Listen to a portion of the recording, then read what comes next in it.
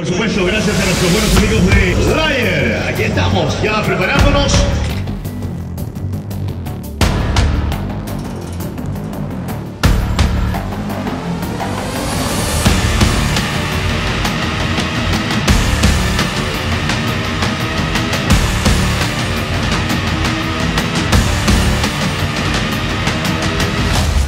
Así comenzamos esta nueva edición de Andamieros Fantásticos.